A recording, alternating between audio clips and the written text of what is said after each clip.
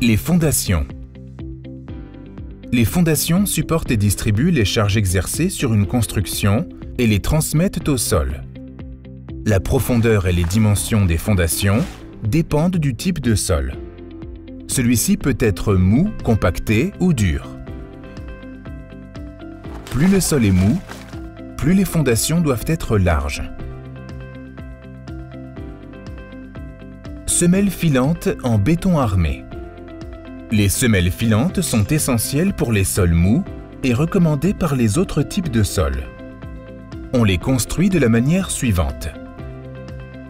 L'armature de la semelle est placée sur le béton maigre pour être bien enrobée dans le béton. Il ne faut pas oublier d'utiliser des séparateurs. On place ensuite l'armature des chaînages verticaux pour qu'elle soit connectée aux fondations. Fondation en béton cyclopéen.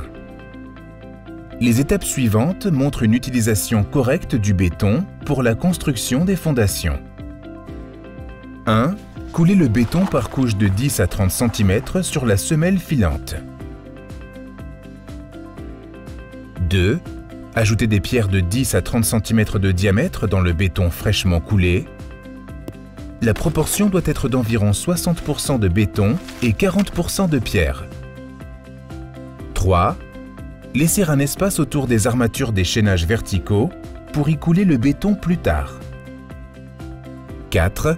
Il est important que les fondations dépassent de 20 cm au-dessus du niveau du sol pour protéger le futur bâtiment contre l'humidité du sol.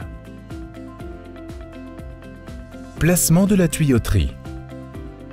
Les règles suivantes permettent de placer correctement la tuyauterie lors de la construction des fondations.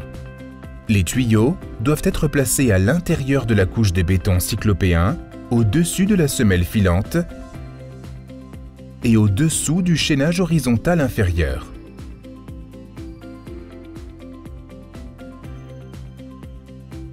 Les tuyaux doivent toujours être situés à l'extérieur des chaînages verticaux et autres renforts en béton.